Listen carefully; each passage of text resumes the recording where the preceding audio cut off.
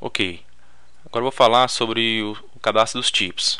É, o cadastro dos tipos são os cadastros também é, é, inseridos pelo usuário. Tá? Vamos pegar, por exemplo, aqui o tipo e-mail. Tá? O tipo de e-mail vai ser qual vai ser o tipo desse e-mail? Se ele vai ser e-mail pessoal, um, é e-mail do trabalho, tá? Vamos pegar a tabela tipo e-mail. Nós temos aqui o ID, nome, descrição aqui na nossa no nosso, no nosso WCF nós vamos ter aqui uma classe tipo e-mail DTO com as propriedades ID, nome, descrição. Mesma coisa no nosso arquivo de configuração do Hibernate. Ok? Vamos ter a nossa interface e tipo e-mail com o método inserir tipo e-mail, o método alterar, o método excluir e um listar tipo e-mail. E vamos ter a implementação desse tipo e-mail. Implementando aqui nossos métodos de inserir, o método de alterar, o método de excluir e o método de listar. Tá? Então, basicamente a mesma coisa dos outros métodos. Aqui a nossa regra de negócio é, é bem parecida, né? Os outros métodos? Então vamos só testar para a gente pegar aqui essa, essa rotina aqui de sempre testar, pegar esse hábito, né? De sempre testar para facilitar, para você ficar mais fácil de encontrar os possíveis erros que possam ocorrer, já aqui mesmo no seu serviço. Vamos chamar o método de listado tipo e-mail. É, ele retornou para a gente aqui o tipo Vamos tentar aqui inserir um tipo. Teste. Teste. Vamos chamar o método listar novamente. Ele inseriu para a gente aqui o nosso teste tá? o id2 vou tentar excluir esse id2 vamos passar o id chamar o método e listar novamente. Excluiu para a gente. Então, nosso método está funcionando corretamente. Vamos ver aqui, vir para a nossa classe de, do cliente aqui. A gente vai ter um modelo do tipo tipo e-mail. Mas eu tenho aqui as nossas propriedades é, mesmas propriedades que nós temos no nosso DTO. Lembrando para a gente poder se comunicar aqui, para a gente poder validar os dados, nós temos que é, criar esse objeto aqui no nosso nosso cliente para poder trabalhar dessa forma. Tá? Como a gente está passando o objeto para o nosso arquivo XML. Ok, então é, basicamente também é a mesma coisa para todos. Né? A gente segue um padrão de como construir isso nosso view model do tipo. Tipo e-mail.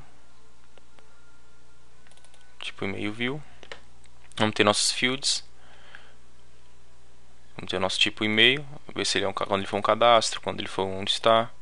Vamos ter nossa nossa interface aqui para chamar nossa regra do tipo. Vamos ter a implementação aqui dessas, dessas propriedades. Vamos ter um observable collection que vai ser o tipo de e-mails, que a gente vai ter uma lista né, desses tipos de e-mails. E vamos ter nosso construtor é, chamando aqui já o método de listar. Assim que ele ativar, ele vai, ele vai chamar o nosso método de listar aqui. E temos o método salvar clique. Quando ele clicar em salvar, temos o método delete, deletar tipo e-mail, né, que vai ser o método para deletar, listar o tipo e-mail e o editar tipo e-mail. Então, é basicamente a mesma coisa para todos os outros tipos aqui. Então, se a gente for abrir tipo endereço, a gente for visualizar aqui, ele vai só vai mudar que ele vai ser agora um tipo endereço model, mas a estrutura dele é a mesma. Tá? Os campos são até é, a quantidade de campos, as propriedades que ele contém são até é, a mesma, tá? Então, a gente demonstrando isso aqui vai ser a mesma coisa para todos. Então a gente vai aqui executar Antes de executar, vamos só visualizar a view para a gente ver a, como foi construída. A nossa view também segue aquele mesmo padrão. A gente vai ter uma borda segurando aqui nossa aplicação. Esse é o nosso, nosso layout. Vamos ter uns painels também para separar aqui cada painel. A gente separar esse painel principal desse, desses botões. Vamos ter um painel só para essa parte aqui de cima desses botões aqui. A gente vai ter o nosso botão de novo, o nosso botão de atualizar. Esse botão de exportar a gente ainda vai, ter, vai implementar aqui para ele gerar esse arquivo XLS, tá? Vamos ter nosso data grid aqui em cima.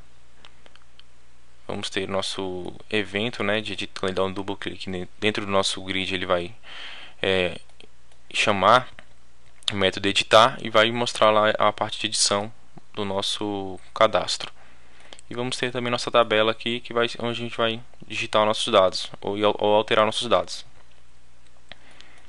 E bem embaixo vamos ter outro, outro painel que vai ter os nossos, conter os nossos botões. Ok, então o layout é padrão. A gente então está usando padrão para todos os outros cadastros. A gente vai seguir sempre esse padrão, esse mesmo layout aqui. Ok? Se a gente vir aqui, executar, a gente vai em cadastros pós, dentro de tipos, e-mail. A gente vai ter o tipo de e-mail, tá? Se a gente é, colocar aqui um, texto só para a gente ver se vai alterar. Alterou o nosso tipo. Vamos criar um novo tipo aqui, teste. Teste, vamos salvar. Ele salvou. E vamos agora deletar esse e foi deletado o nosso tipo e-mail. Então, é, basicamente, nossos tipos vão funcionar dessa mesma forma. Tipo endereço também. Tá aqui um tipo comercial, tipo endereço comercial. Vamos salvar. Foi salvo o nosso tipo comercial.